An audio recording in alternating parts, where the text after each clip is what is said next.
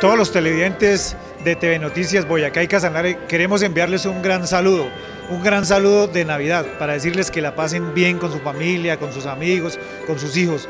Pero para tener una Navidad bonita, que se recuerde, que la pasemos agradable, necesitamos tener varias cosas.